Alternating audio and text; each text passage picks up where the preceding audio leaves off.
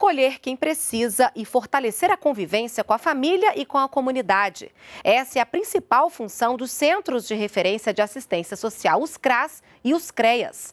Para fortalecer e ampliar a rede de acolhimento, foram liberados quase 29 milhões de reais para 153 municípios de todo o país.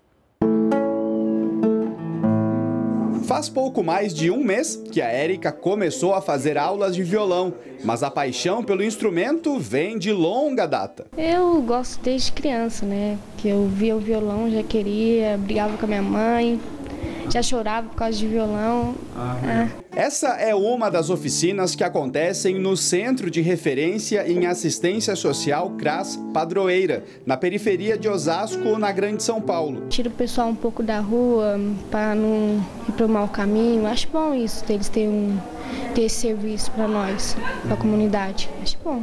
Todo mês, quase 3 mil pessoas passam pelo serviço de assistência social. Frequentam de oficinas de violão a capoeira. Tem até centro de inclusão digital.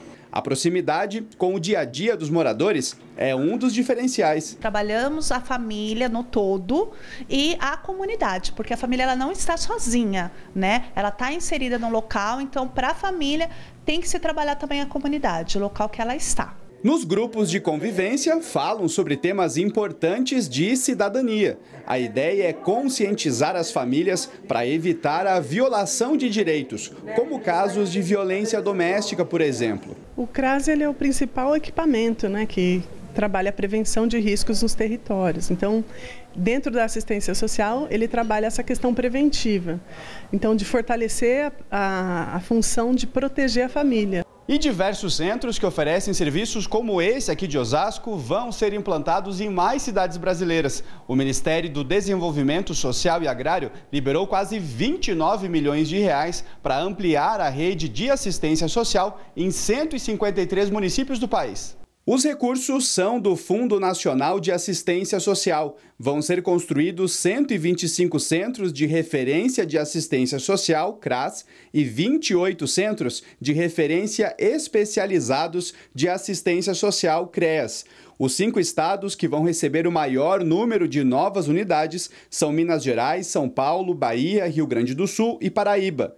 Hoje, o país conta com 8.155 CRAS e 1.564 CREAS. O objetivo principal desse recurso é que esses municípios possam construir esses, esses equipamentos, essas unidades públicas, né, CRAS e CREAS, para que eles possam ter sede própria. Todos eles funcionam em imóveis alugados.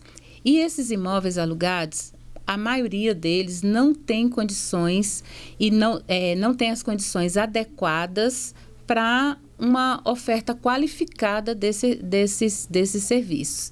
Os dois serviços buscam fortalecer a convivência com a família e a comunidade em regiões de vulnerabilidade. No CRAS, dá para se cadastrar para acessar benefícios como o Bolsa Família, além de cursos de qualificação profissional, por exemplo. Já no CREAS, são atendidas famílias que enfrentam situações de maior risco, como violência física, psicológica e sexual.